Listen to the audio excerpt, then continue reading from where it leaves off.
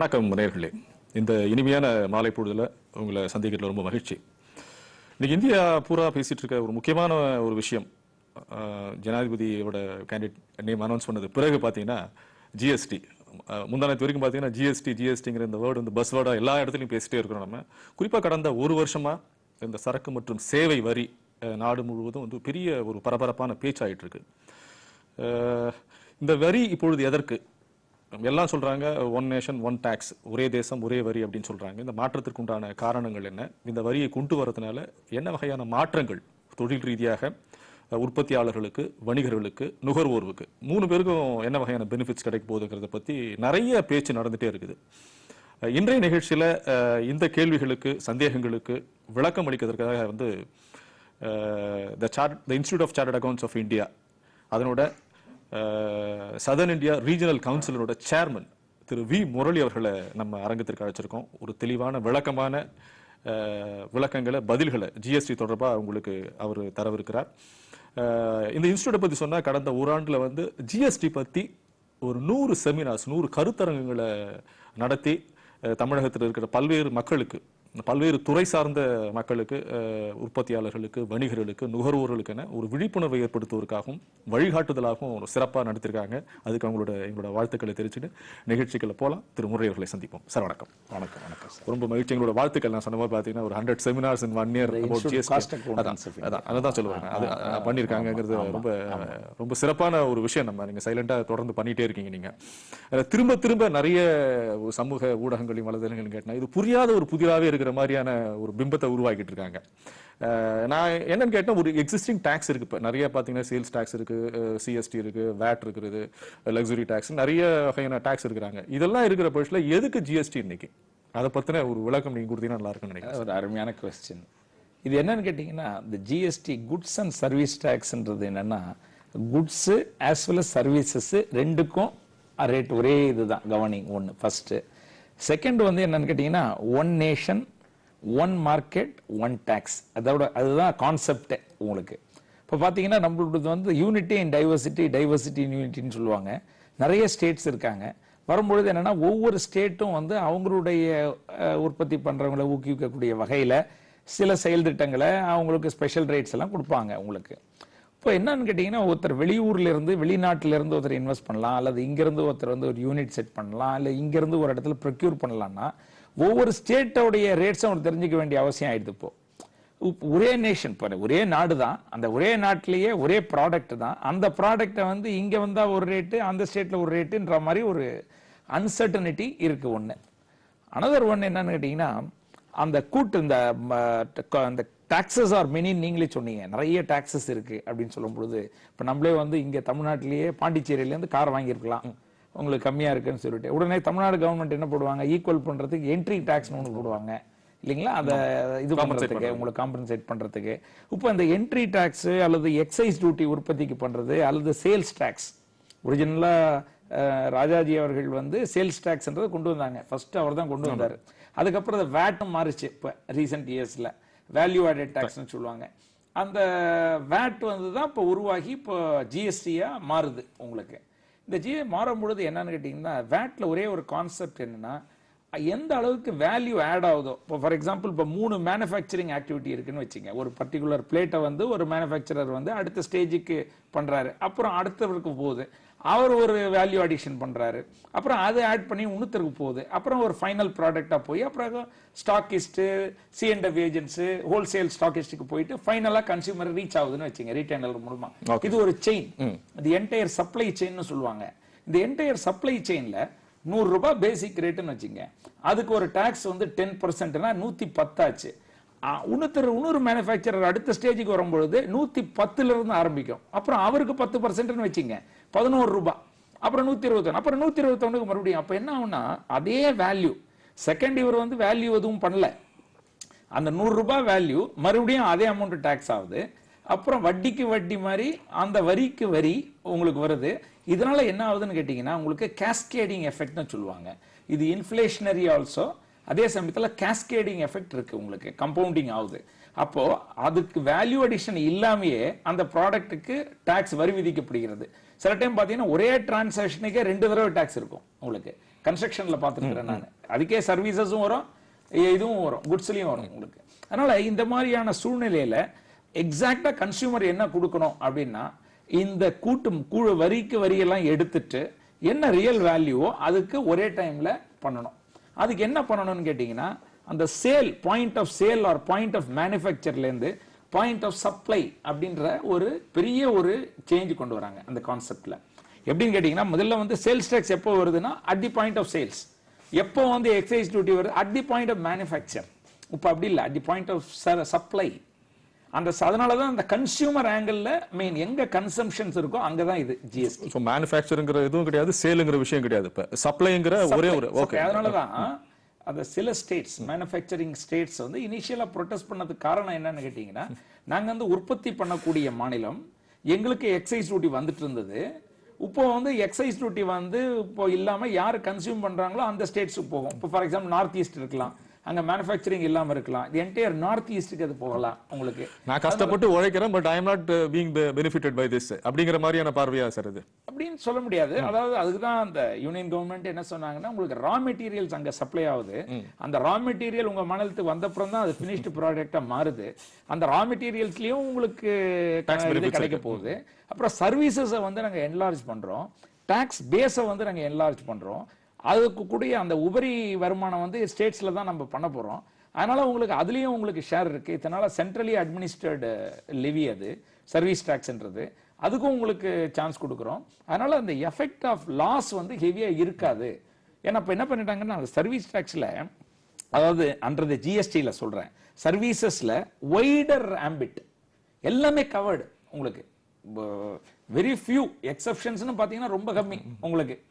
அதனால அந்த ஆஸ்பெக்ட்ல வரக்கூடிய அந்த உபரி வருமானம் அதனால தான் அந்த காம்பன்சேஷன் ஆக்டே பண்ணி ஃபைவ் தௌசண்ட் இதெல்லாம் கொடுத்தது காரணம் they are recognising as there will be loss ஏன்னா அந்த கான்செப்டே மாறும் பொழுது டெஃபினட்டா வந்து மாற இந்த டாக்ஸுடைய இம்பாக்ட் இருக்கும். ஆனா what will be the impact to be studied அது வரைக்கும் இந்த என்லார்ஜ்டு இதுல everybody will be able to participate அப்படின்ற கான்செப்ட் தான் the central government has taken it actually rightly so உங்களுக்கு. அதுல ஒன்றும் இதுவே கிடையாது உங்களுக்கு. அதனால அந்த கான்செப்ட் ஆஃப் சேல்ஸ்ல இருந்து உங்களுக்கு சப்ளை மேனுஃபேக்சர்ல இருந்து ஒரு சப்ளை ஒண்ணு. அப்புறமா அந்த ஈவன் ஒரு ஸ்டேட் இன்னொரு ஸ்டேட் நீங்க போகும்போது கூட பாத்தீங்கன்னா அலாங் வித் த குட்ஸ் வந்து டாக்ஸும் அதோடய சேல் ஆகுது சைமல்டேனியஸா உங்களுக்கு. Goods is selling along with the tax உங்களுக்கு. அடுத்த ஸ்டேட்ஸுக்கு போகும்பொழுதும். அதனால அந்த ரீஃபண்ட் வாங்குறது அது இதெல்லாம் கிடையாது. சீம்லு சீம்லெஸ் இன்புட் கிரெடிட் அப்படின்னு சொல்லுவாங்க. முன்னாடி யாரு கட்டியிருக்காங்களோ அந்த வந்து அடுத்த செயின்ல இருக்கிறவர் ஆட்டோமேட்டிக்கா அவர் வாங்கிக்கலாம். மீதி தான் அவர் கட்ட போறாரு உங்களுக்கு.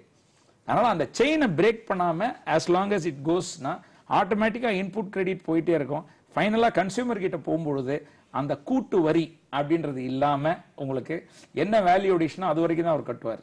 ஆனா இந்த particular tax credit should be passed on to the consumer அதான் நேத்தி கூட தான் இது கொடுத்தது வந்து ஆன்டி ப்ராஃபிட் ரிங் அப்படின்னு சொல்லி கொண்டாந்துருக்காங்க அந்த கன்சியூமருக்கு அந்த எண்ட் யூசர் அல்டிமேட்டா நீங்க அதான் சொன்னீங்க. கன்சியூமருக்கு இதனால ஒரு? என்ன பலன் அப்படின்னு பார்க்கும் பொழுது அந்த அந்த மல்டிப்ளிசிட்டி ஆஃப் டாக்ஸஸ் அந்த கேஸ்கேடிங் எஃபெக்ட் இதெல்லாம் ரிமூவ் பண்ணிட்டு அந்த பெனிஃபிட் வந்து கன்சியூமருக்கு ரீச் ஆகணும். ஆக்சுவலா அதுதான் இதுதான் goal aim of, uh, the உங்களுக்கு. government. ஆமா. அந்த எய்ம்ல பார்க்கும் பொழுது அந்த செயின் ஃபுல்லா முதல்ல அதை ஷுட் அண்டர்ஸ்டாண்ட் பண்ணணும் அந்த என்டையர் கான்செப்டை அதுக்கேத்த என்னெல்லாம் பண்ண preparedness business has to do அது பண்ணணும். அப்புறம் அந்த பெனிஃபிட்டை வந்து அந்த டாக்ஸ் பெனிஃபிட் வந்து should be passed on to the consumer அல்டிமேட்டா ரொம்ப அழகா சொன்னீங்க நீங்க அஹ் நான் இந்த இது வந்து கன்சியூமரை பத்தின இது ஒரு கேள்வி. அடுத்தது நான் கேட்க நினைச்சீங்கன்னா இப்போ நிறைய மாற்றங்கள் வந்திருக்கு பார்த்தீங்கன்னா இதுக்கு முன்னாடி ஃபிஃப்டி லேக்ஸ் ஒன் க்ரோர் இருந்தால் தான் நம்ம சிஎஸ்டி பண்ண வேண்டிய சூழ்நிலை. இப்போ இருபது லட்சம் சில மாநிலங்களுக்கும் ப்ளஸ் பத்து லட்சம் வந்து நார்த் ஈஸ்ட்ல இருக்கிற மாநிலம் மட்டும் சொல்லியிருக்காங்க. ஏன்னா ஈவன் இன்வாய்சஸ் முறைகள்லாம் முழுக்க மாறுற மாதிரி ஒரு ஒரு ஒரு ஒரு முறை வந்திருக்குது அப்ப. அப்போ ஒரு நிறுவனம் ஒரு இருபது லட்சம் டேர்ன் ஓவர் லாஸ்ட் இயர் பண்ண நிறுவனமோ இல்ல இல்ல ஒரு புதுசா நான் ஒரு நிறுவனம் துவங்குறேன் நான்.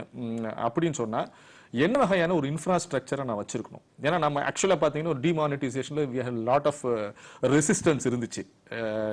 இந்த மாற்றத்துக்கு வந்து ஒரு எல்லாமே வந்து டிஜிட்டல் எக்கனாமி போனோம். மாறினங்கிற ஒரு விஷயம் மன மக்களாகட்டும் சரி இவன் தொழில் செய்வர்களுக்கு கூட வந்து நிறைய சிக்கல்கள் இருந்துச்சு கஷ்டங்கள் இருந்துச்சு. அந்த கஷ்டங்கள்லாம் மீறி இன்னைக்கு நவ் நவ் திங்ஸ் பிகம் ஸ்மூத்துங்கிற மாதிரியான ஒரு நிலைமைக்கு வந்திருக்கும். அதே மாதிரி இந்த சுதந்திரம் பெற்ற பிறகு டேக்ஸில் கொண்டு வரப்பட்டிருக்க மிகப்பெரிய சீர்திருத்தம் இதுங்கிற பார்வையில் ஒரு ஆர்கனைசேஷன் இல்லை ஒரு அமைப்பு ஒரு நிறுவனம் இல்லை ஒரு இண்டஸ்ட்ரிங்கிறது இதை ஒரு ஸ்மூத்தாக பண்ணுறதுக்கு என்ன வகையான இன்ஃப்ராஸ்ட்ரக்சர் விஷயங்களை வச்சுருக்கணும்னு நீங்கள் நினைக்கிறீங்க சார்? அருமையான கேள்வி. அதாவது preparedness by the industry commerce trade அது ரொம்ப இம்பார்ட்டன்ட் அருமையான கொஸ்டின் இது. இதில் என்ன ஃபஸ்ட்டு திங் என்னென்னா நம்ம எது இது வந்து நாட்டுக்கு நல்லது. ஒரு அருமையான சீர்திருத்தம் போஸ்ட் இண்டிபெண்டன்ஸில் ஒரு பெரிய ரிஃபார்ம்ஸ் இந்த ரிஃபார்ம்னு வரும்பொழுது ஒரு சீர்திருத்தம்னு வரும்பொழுது எல்லாருமே ஒரு கோஆப்ரேட் பண்ணி பாசிட்டிவ் மைண்ட் செட்டோடு இருக்கணும். ஆக்சுவலாக first thing we have to accept the changes what is happening இதில் ஃபஸ்ட்டு வந்து இன்ஃப்ராஸ்ட்ரக்சர் நீங்கள் சொன்ன மாதிரி அந்த கட்டமைப்புன்னு பார்த்தீங்கன்னா ஜிஎஸ்டிக்கு ஒரு வணிகரோ ஒரு ட்ரேடரோ ஒரு எண்ட்யூசரோ வெண்டாரோ என்ன பண்ணணும்னா அவங்களுடைய சிஸ்டம் கான்ஃபிகரேஷன் அது பர்ஃபெக்டாக வச்சுக்கணும் உங்களுக்கு. ஒரு வைஃபையோ அல்லது ஒரு சாஃப்ட்வேரோ அல்லது ஹார்ட்வேரோ அவங்களுடைய சாஃப்ட்வேர் ஒன்று கவர்மெண்ட் சைடில் இருந்து அவங்க வந்து ப்ரிப்பேர்ட்னஸ் வந்து ஒரு லார்ஜ் ஸ்கேலில் அருமையாக பண்ணிட்டு இருக்கிறாங்க. இன்ஃபேக்ட் அது வந்து அவங்களுடைய கவர்மெண்ட் சைடில் இந்த வெண்டார் சைடில் அதை ஃபைல் பண்ணுறதுக்கு ரிட்டர்ன்ஸ் ஏன்னா எல்லாமே சிஸ்டம் தான். ரிஜிஸ்ட்ரேஷன்லேருந்து எல்லாமே ஆன்லைன் தான். அப்படி இருக்கும் பொழுது இன்ஃப்ராஸ்ட்ரக்சர் ஹேஸ் டு பி கட்டமைப்பு பர்ஃபெக்டாக இருக்கணும் உங்களுக்கு. அது ஒன்று இந்த wifi fi connection all these things கரெக்டாக வச்சுக்கணும். அப்புறம் ஒரு நாலெட்ஜபிள் ஸ்டாஃப் ரொம்ப முக்கியம் இதில். ஏன்னு கேட்டிங்கன்னா இட்ஸ் ரெகுலேஷன் இந்த ரெகுலேஷன் கம்ப்ளைன்ஸ் இருக்கு பார்த்தீங்களா அந்த கம்ப்ளைன்ஸ் காஸ்ட் இனிஷியலாக இருக்கும் உங்களுக்கு. ஏன்னா எவ்வளோ டு ஃபால் இன் லைன் வரும்பொழுது அந்த கம்ப்ளைன்சஸ் இனிஷியல் ஸ்டேஜில் எல்லாமே ஓனராக பண்ண முடியாது. இப்போ நார்மலாக மேனுவலில் பண்ணிட்டு இருப்பாங்க. வேட்டில் வரும்பொழுது நம்ம ஒரு அக்கௌண்ட்டில் வச்சு பண்ணோம். இதில் ஓரளவு ஒரு நாலேஜாக ஒரு ப்ரொஃபஷனலுடைய ஹெல்ப் வந்து கட்டாயம் தேவை உங்களுக்கு. அந்த கன்சல்டன்சி ஆங்கிளில் அவங்கள ட்ரெயின்டு ஸ்டாஃப் ரொம்ப இம்பார்ட்டண்ட் உங்களுக்கு. எப்படி ஃபைல் பண்ணணும் என்ன கோடிஃபிகேஷன்ஸ் எல்லாம் இருக்குது எந்த கிளாசிஃபிகேஷன் அப்படின்னு சொல்லிட்டு இருக்குது உங்களுக்கு. சிமெண்ட்டுன்னு எடுத்தனா கூட வீட்டுக்கும் சிமெண்ட் இருக்கும் பல்லு கட்டுறதுக்கும் சிமெண்ட் இருக்கும். அது என்ன வாட் இஸ் த கோடு அப்படிங்கிறத பார்த்து அந்த பர்டிகுலர் ஹெச்எஸ்என் கோடெல்லாம் இருக்குது கரெக்டாக அதை கரெக்டாக எந்த கேட்டகரியில் வரும் என்ன ஃபைல் பண்ணணும் என்னென்ன கம்ப்ளைண்ட்ஸ் பண்ணுறதுக்கு ignorance of law is no excuse அதனால் அந்த ஆஸ்பெக்டில் அந்த நாலேஜ் பேஸ்டு ஸ்டாஃபை வந்து ரெக்ரூட் பண்ணுறது ரொம்ப முக்கியம். அதே மாதிரி இப்போ ஒன் டைம் பாஸ்வேர்டுன்னு இருக்கும். அந்த இமெயில் டெடிகேட்டட் லைன் உங்களுக்கு எல்லாமே எளியராக என்னன்னா அக்கௌண்ட்டே வச்சிருப்பாரு. அவருடைய ஃபோனையே யூஸ் பண்ணிட்டு இருப்பார் அவருடைய இமெயிலை வச்சுட்டு இருப்பாரு.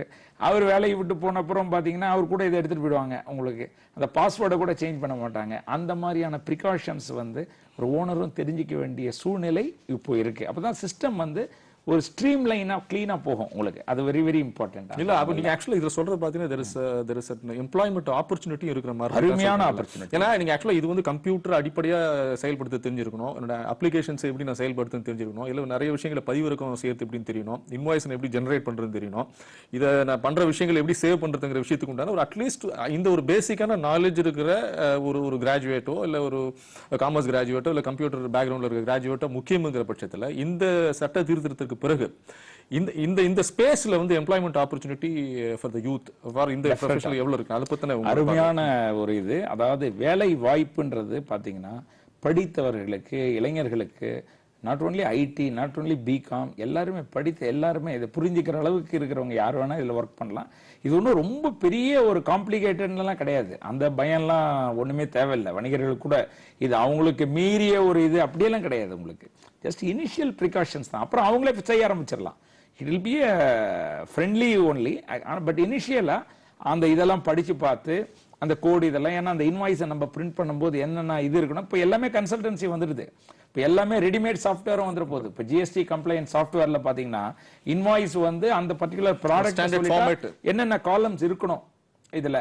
என்னென்ன காலம்ஸ் தேவை? அந்த பர்டிகுலர் இண்டஸ்ட்ரி ஓரியன்ட் உள்ள பெக்குலியாரிட்டிஸுக்கு தகுந்த மாதிரி உங்களுக்கு இன்வாய்ஸ் எல்லாம் இப்போ ஆல்மோஸ்ட் யூனிஃபார்மா இருக்கும். யூனிஃபார்ம் இருக்கும். கொஞ்சம் ஸ்மால் சேஞ்சஸ். மட்டும் இருக்கும் உங்களுக்கு. ஏன்னு கேட்டீங்கன்னா உங்க ரிவர்ஸ் கிரெடிட் எல்லாம் இருக்கு மெக்கானிசம்லாம் இருக்கு. அதுக்கு தகுந்த மாதிரி என்னென்ன காலம்ஸ் ஆட் பண்ணணும் அந்த மாதிரி இருக்கும். அதை புரிஞ்சு இனிஷியலா அவங்க பண்ணும்போது ஆட்டோமேட்டிக்கா அது சிஸ்டம்ல வந்துரும். அந்த ஒரு இனிஷியலா ஒரு த்ரீ ஃபோர் மந்த்ஸ் வேணா அந்த தடுமாற்றம் இருக்கலாம் உங்களுக்கு. அதை கூட வந்து we can overcome by employing correct people. அதுக்கும் எம்ப்ளாய்மெண்ட் ஜெனரேஷன் இருக்கும். யங்ஸ்டர்ஸ்க்கு ஒரு நல்ல வாய்ப்பு. ஒரு செக்ஸ் அண்ட் பேலன்சஸ் இருக்கும். ரொபஸ்ட் சிஸ்டம் இருக்கும் உங்களுக்கு. ஆனா இப்போ எது எடுத்தாலும் இப்போ குழந்தைனா ஒரு தவழணும் இது பண்ணணும் நடக்கணும் அப்படி அது ஒரு ப்ராசஸ் தான். அது அது. We should allow the system to settle down அது பார்த்தீங்கன்னா ஒரு ஒன் அண்ட் ஆஃப் இயர்ஸ் ஆகலாம். ஒரு ஒன் இயர் ஆகலாம் உங்களுக்கு அதனால தான் அவங்க கரெக்டாக சூஸ் பண்ணது கூட பார்த்தீங்கன்னா கவர்மெண்ட் அப்ரிஷியேட் பண்ண ஜூலை ஆகஸ்ட் வந்து கொஞ்சம் லீன் மந்த்ஸ் செப்டம்பர்லேருந்து சீசன் பிக்கப் ஆயிடும். இந்த டைம்ல இன்ட்ரடியூஸ் பண்ணி அந்த லீனியன்ஸும் கொடுக்குறாங்க. செப்டம்பர் வரைக்கும் இன்வாய்ஸ் வைஸ் ஃபைல் பண்ற அந்த ரிட்டர்ன்ஸ்ல எல்லாம் டைம் வந்து அப் டு செப்டம்பர் கொடுத்துருக்குறாங்க. இந்த டிஃபிகல்ட்டி இருக்கும். இனிஷியலாக வந்து அண்டர்ஸ்டாண்ட் பண்ணி அசிமுலேட் பண்ணி ஃபைல் பண்ணக்கூடிய டைம் வந்து செப்டம்பர் வரைக்கும் கொடுத்துருக்காங்க. இன்வாய்ஸ் வைஸ் ஃபைல் பண்ணக்கூடிய ரிட்டர்ன்ஸ் எல்லாம். அதனால் தே அண்டர்ஸ்டாண்ட் தி டிஃபிகல்ட்டி அதுக்குள்ளேயே வந்து ஆட்டோமேட்டிக்காக அது பிக்கப் ஆகிடும் system itself will be able to do it இதனால நிறைய பேருக்கு என்ன பெனிஃபிட்னு கேட்டினா உங்களுக்கு நம்மளுடைய ஒரு ஆஃபீஸ் இதிலிருந்து எல்லாமே பண்ணலாம். இந்த இன்புட் கிரெடிட் இது எல்லாமே வந்து தியரிட்டிக்கலாக இல்லை ஆட்டோமேட்டிக்காக உங்களுக்கு வந்துருப்போகுது சிஸ்டத்தில் உங்களுக்கு அந்த செக் போஸ்ட் ப்ராப்ளமோ அல்லது அந்த மாதிரி ஒரு ஹாரஸ்மெண்ட்டோ இல்லது அசஸ்மெண்ட்ல கிரியேட் பண்ற ப்ராப்ளமோ அது எல்லாமே இப்ப கிடையாது. அதெல்லாம் தவிர்க்கப்படுது உங்களுக்கு. அதனால எவ்வளவு மேன் ஹவர் சேவ் ஆகுது உங்களுக்கு? அதனால only thing is they must come under the system everybody should come under the system இப்போ அன்ரிஜிஸ்டர்டு டீலர்ஸாக இருந்தாங்கன்னா ஆட்டோமேட்டிக்கலாக ரிவர்ஸ் மெக்கானிசம் வருது. வேர் த ரிசிபியன்ட் அவர் வந்து service receiver has to pay இந்த மாதிரிலாம் இருக்கு. அதனால கூடுமான வரைக்கும் எல்லாருமே ரெஜிஸ்டர் பண்ணிக்கணும். அண்டர் தி சிஸ்டம்ல எப்படின்னு கேட்டிங்கன்னா ஸ்டாக் ட்ரான்ஸ்ஃபர் பிரான்ச் ட்ரான்ஸ்ஃபர்ஸ் எல்லாமே கவர் ஆயிடுது. Advance received for the supply அது கூட வந்து ஜிஎஸ்டி கவர் ஆகுது. அதனால வந்து எல்லாருமே வந்து ரெஜிஸ்ட்ரேஷன் வச்சிட்டு இருக்கிறது நல்லது. ஏன்னு கேட்டிங்கன்னா அந்த வெண்டார் கேட்டகரைசேஷன் பண்ணும் பொழுது யார் வந்து அதை ரெஜிஸ்டர் பண்ணலையோ அவங்களுக்கு வேல்யூ கொஞ்சம் கம்மியாகும் உங்களுக்கு. எந்த வெண்டார் வந்து எல்லாம் கம்ப்ளை பண்றாங்களோ உங்களுக்கு எப்படி நம்ம சிபில்ல கரெக்டா நீங்க ரீபே பண்ணும் பொழுது ஒரு ரேட்டிங் வரா மாதிரி இதுலயும் ஒரு ரேட்டிங் கிரியேட் ஆகும் உங்களுக்கு. அந்த ரேட்டிங் கிளாசிபிகேஷன் வரும்பொழுது ஒரு பெரிய ஒரு ஆர்டர் பிடிக்கணும் ஒரு கம்பெனி இது படிக்கணும்னா அவங்களுடைய credibility of the vendor is very important இல்லைங்களா? அவங்களுடைய கோடிஃபிகேஷன் அவங்களுடைய கம்ப்ளைன்ஸ் அவங்க எந்த அளவு கட்டிருக்காங்க அந்த வெண்டார் அவர் கரெக்டா கட்டினா தான் அடுத்தவருக்கு கிடைக்கும் அந்த இன்புட் இப்போ அவர் வந்து எந்த அளவுக்கு ரிலையபிள் இஸ் ஆல்சோ இம்பார்ட்டன்ட் அப்பதான் இவருக்கு இன்புட் கிரெடிட் கிடைக்கும் இந்த சப்ளை செயின்ல உங்களுக்கு. அதனால அந்த ஆஸ்பெக்ட்ல இந்த ரெஜிஸ்ட்ரேஷன் கம்ப்ளையன்ஸ் ரெகுலேஷன் அதை ஃபுல்ஃபில் பண்ணும் பொழுது இவர் கிரெடிபிலிட்டி கோஸ் அப் உங்களுக்கு. ஓகே ஆமா. அதனால எல்லாரும் வந்து should cooperate.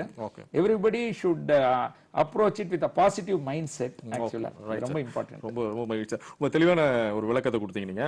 நான் அடுத்து நான் உங்கள்கிட்ட நான் கேட்கணும்னு நினைச்ச இன்னொரு விஷயம் என்னன்னா சார் நிறைய products thousands and thousands of products இருக்கு. அவ்வளோ ஹண்ட்ரட்ஸ் ஆஃப் இண்டஸ்ட்ரீஸ் இருக்கு.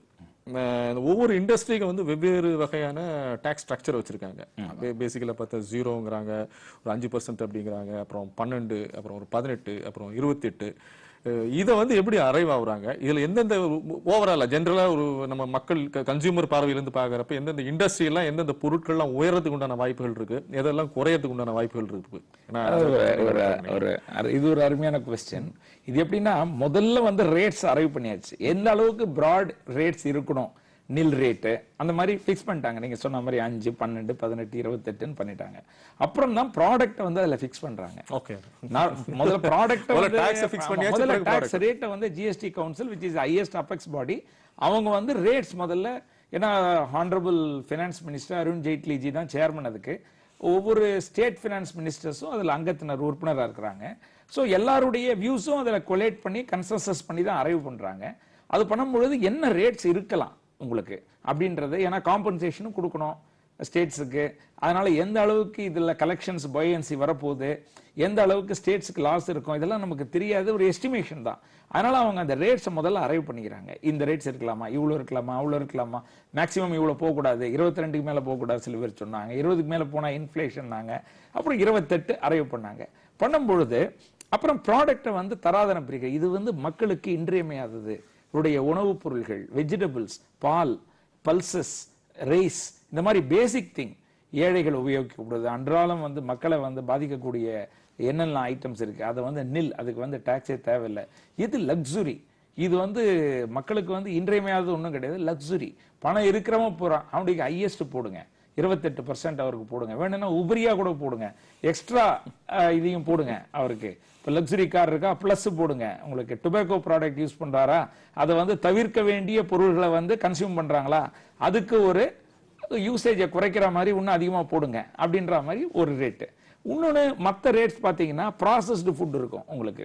அந்த பாலாடை கட்டின்னு இருக்கும். அதை ப்ராசஸ் பண்ணுறது பேக்கேஜ் பண்ணுறது இது வந்து இன்னும் கொஞ்சம் அஃபோர்டபுள் செக்ஷன்ஸ் பண்ணுறாங்க இது வந்து பேசிக் ரா மெட்டீரியலாக இல்லை. அதில் மறுபடியும் ஒரு இது பண்ணி ஷெல்ஃப் லைஃப் இன்க்ரீஸ் பண்ணி அவங்க யூஸ் பண்ணுறது அடுத்த இதில் போடுங்க. அந்த மாதிரி கேட்டகரைசேஷனில் ஏன்னா ஷெடியூல் எடுத்து பார்த்து நீ கோடில் கொடுத்தீங்கன்னா ஆட்டோமேட்டிக்காக அது வந்துட போகுது. உங்களுக்கு என்னென்ன ப்ராடக்ட்ன்றது ஆனால் அவங்க அந்த ப்ராடக்ட்டை பிரித்த விதம் இருக்கிறது.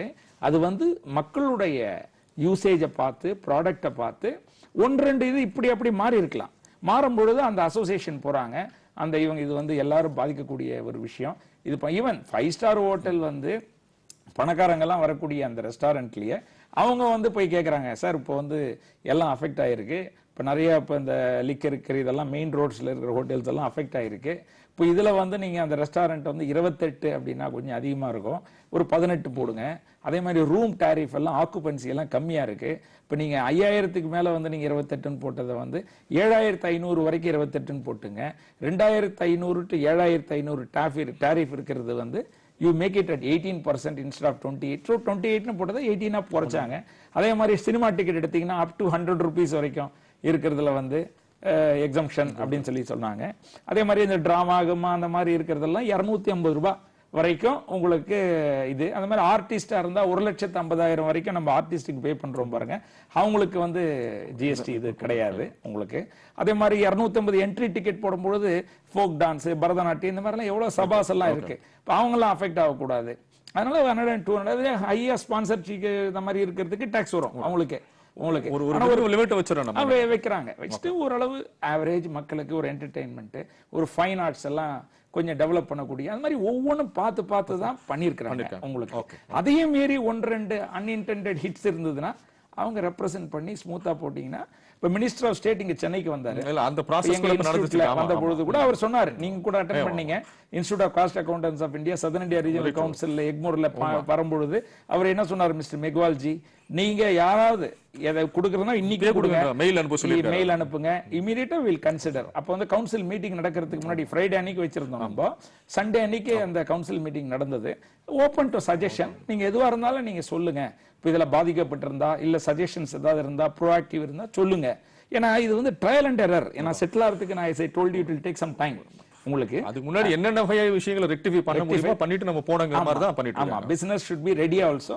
இவங்க சைடுல நாங்க ஏதாவது தேவைன்னா நாங்க திருத்திக்கிறதுக்கு தயாரா இருக்கிறோம். மாடிஃபை பண்றதுக்கு ரெக்டிஃபை பண்றதுக்கு இருக்கோம்னு சொல்லியிருக்கோம் ஓகே சார் ஓகே சார் இது ரொம்ப தெளிவான விளக்கங்களை கொடுத்துட்டே இருக்கீங்க. ரொம்ப மகிழ்ச்சி சார் ஏன்னா ஆக்சுவலா நான் இந்த மொத்த விஷயத்தையுமே ஒரு கன்சியூமர் பாயிண்ட்ல இருந்து தான் பாக்குறேன் ஏன்னா ஒரு ஒரு ஒரு வணிகரா இருக்கலாம் இல்ல ஒரு தொழில் நிறுவனரா இருக்கலாம் ஒரு மேனுஃபேக்சரா இருக்கலாம் அவங்களுங்கிறப்ப ஸ்பெசிஃபிக்கா தேனும் வாட் இஸ் பிசினஸ் என்ன பண்ணணுங்கிற அந்த பார்வையோட பாக்குறாங்க வீட்ல உட்காந்து நம்ம நிகழ்ச்சி பார்த்துட்டு புதிய நேயர்கள் வந்து இது என்ன பேசிட்டு இருக்காங்க சடனா in what way I'm connected with திஸ்ங்கிற பட்சத்தில் I would like to see that it is for them.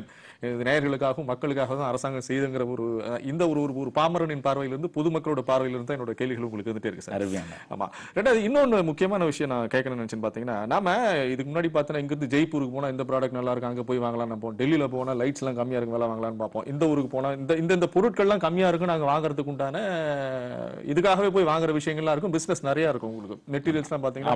அஹ், நாக்பூர் இந்த வேய்ப்பூர் பக்கத்துல போய் டெக்ஸ்டைல் எல்லாம் பண்ணிட்டு இருப்பாங்க இப்போ இது வந்து இந்த ஜிஎஸ்டினால இது ஏதாவது பேலன்ஸ் பண்றதுக்கு உண்டான விஷயங்கள் இருக்கா? வாட் சேஞ்சஸ் இது வந்து டாக்ஸ் ரேட்ஸோட யூனிஃபார்மிட்டி அண்ட் கன்சிஸ்டன்சி பத்தி தான் பேசுறோம். சில இடத்துல வந்து அந்த ரா மெட்டீரியல்ஸ் வந்து உபரியா கிடைக்கும். இப்ப பெங்கால்ல வந்து ஜூட்னு சொல்லுவாங்க. அதே மாதிரி கிளாஸ் சில இடத்துல இருக்கலாம். அல்லது ஹேண்டிகிராஃப்ட்ஸ் ஒரு இடத்துல இருக்கலாம். ஹேண்ட்லூம்ஸ் ஒரு இடத்துல இருக்கலாம். உங்களுக்கு அதனால அந்த ஒரு சில ஸ்டேட்டுக்கே உரிய கேரக்டரிஸ்டிக்ஸ் இருக்கும். அவருடைய தாது பொருள்கள் வேற மாதிரி இருக்கலாம். சில இந்த ஸ்பெஷலைஸ்டு ஆக்டிவிட்டி வந்து ஒரு ஸ்டேட்லயே அந்த ஆர்டிஸ்ட் இவங்க இருப்பாங்க. அதெல்லாம் பேசிக் திங்ஸ் அது வந்து இந்த ஜிஎஸ்டி ஸ்ட்ரக்சர் வந்து மாத்த போறது இல்ல உங்களுக்கு. ஆனால் அது அதுக்கான சஃபர் பண்ற அந்த டாக்ஸ் இருக்கு பாருங்க. ஒவ்வொருத்தரும் யூனிஃபார்மா கொடுக்கறது. அது யூனிஃபார்மா இருக்கும்.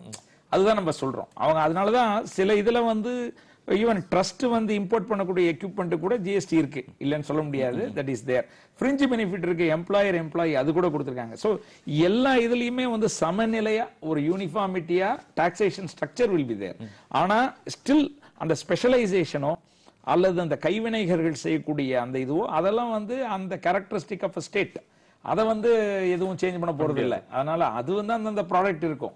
ஆனா அதுக்கான ஸ்பெஷல் ரேட்ஸ் வந்து ஒவ்வொன்றும் ஒவ்வொரு விதத்துல இல்லாம உங்களுக்கு. டாக்ஸ்னால இந்த ஸ்டேட்டுக்கு நம்ம போலாம் டாக்ஸ்னால இந்த ஸ்டேட்டுக்கு போகலாம். அதான் சொன்ன பாண்டிச்சேரி. கார் வாங்குறதுக்கு இங்க போகலாம். அதோட இவ்வளவு கம்மியாகும் அப்படின்னு இல்லாம taxation is not the criteria today உங்களுக்கு அந்த யூனிஃபார்ம் டாக்ஸ்ங்கிறதுனால வந்து அந்த மாற்றங்கள் வராது. எங்க வேணாலும் வாங்கிக்கலாங்கிற ஒரு ப்ராடக்ட் எந்த இடத்துல பெஸ்ட்டோ அது product continue to be there உங்களுக்கு. Taxation rate will be uniform உங்களுக்கு. ஒரு இண்டஸ்ட்ரியை ஒரு இடத்துல செட்டப் பண்ணணும்.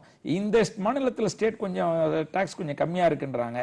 இது ஜீரோ டாக்ஸா இருக்குன்றாங்க அந்த ப்ராடக்ட்டுக்குன்னு அவர் அலைய வேண்டியதில்லை. ஆனால் ஒரு வெளிப்படைத்தன்மை ஒரு நம்பகத்தன்மை டிரான்ஸ்பரன்சி ரிலையபிலிட்டி கன்சிஸ்டன்சி யூனிஃபார்மிட்டி இது வந்து இந்த ஜிஎஸ்டினால ப்ரொடெக்ட் பண்ணப்படுது. ஓகே பியூட்டிஃபுல் சார் ரொம்ப ரொம்ப அழகான விளக்கம். ஏன்னா ஜிஎஸ்டியை பற்றி என்ன நிகழ்ந்துட்டு இருக்கு இப்போ கரண்டா என்னென்ன மாற்றங்கள் ஏற்ப ஏற்படுத்தப்பட்டிருக்கு? இதனால வந்து கன்சியூமர்ஸுக்கு என்ன வகையான பெனிஃபிட் இது? அதே மாதிரி இண்டஸ்ட்ரியில் இருக்கவங்க என்ன வகையான இன்ஃப்ராஸ்ட்ரக்சரை டெவலப் பண்ணிக்கணும்? அப்பார்ட் ஃப்ரம் தட் இந்த இந்த ஜிஎஸ்டியின் மூலமாக என்ன வகையான எம்ப்ளாயபிலிட்டி எஸ்பெஷலி அந்த அந்த ஸ்பேஸில் உருவாக்க முடியுங்கிறத பற்றி ரொம்ப பியூட்டிஃபுல்லாக சொல்லிட்டு இருக்கீங்க. ஏன்னா இது வந்து ஒரு ஓஷன் மாதிரி நிறைய விஷயங்களை வந்து நம்ம தொடர்ந்து பேசிகிட்டே இருக்கணும். இவ்வளோ நேரம் நம்மளோட நிலையத்துக்கு வந்து ஜிஎஸ்டி தொடர்பான பல்வேறு கேள்விகளுக்கு ரொம்ப சிறப்பாகவும் தெளிவாகவும் விளக்கம் அளித்த உங்களுக்கு நிலையத்தின் சார்பிலையும் நேர்களின் சார்பிலையும் உங்களுடைய நெஞ்சார்ந்த நன்றியை தெரிவித்துக் கொள்கிறோம். நன்றி. வணக்கம். வாய்ப்புக்கு நன்றி.